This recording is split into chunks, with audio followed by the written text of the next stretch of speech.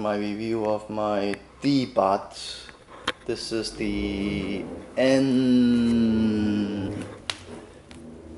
What model is this thing? N, oh, N78 model.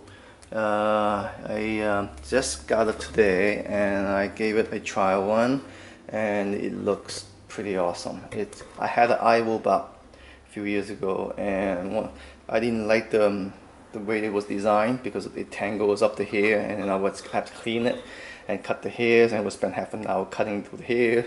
So with this one is the design is different. It uses a vacuum instead of a, a tangling system. So everything goes sucked in over here. So it's pretty nice. So I didn't have to deal with tangling hairs and stuff like that. And um, as far as quiet goes, this thing is really quiet and it's pretty smart. I mean, it's, it's pretty much the same thing as the iRobot, I would say. And uh, this thing for $180, it came with a lot of stuff. It came with mopping stuff, it has a reservoir for the water, and came with its own cleaning solution uh, cup, and an extra mopping thing, and uh, two extra cleaning brush, and extra HEPA filter. Now these are pretty nice uh, HEPA filters. They're not like a regular filter.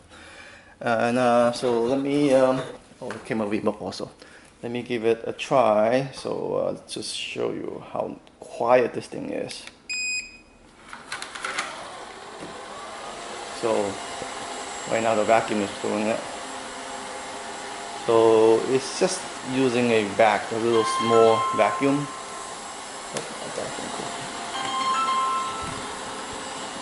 So that's my phone ringing and the noise.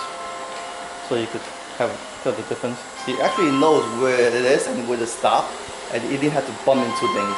So it's pretty nice. I mean, uh, sometimes it bumps into things, but sometimes it doesn't. So I don't know how we, what the logic is behind this, but it's pretty quiet and pretty smooth, and I love it.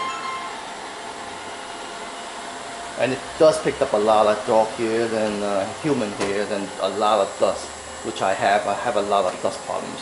So this is pretty awesome.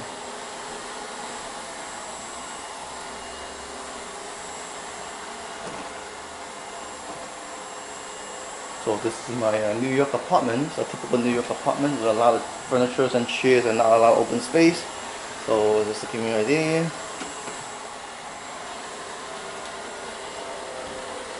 It's pretty smart.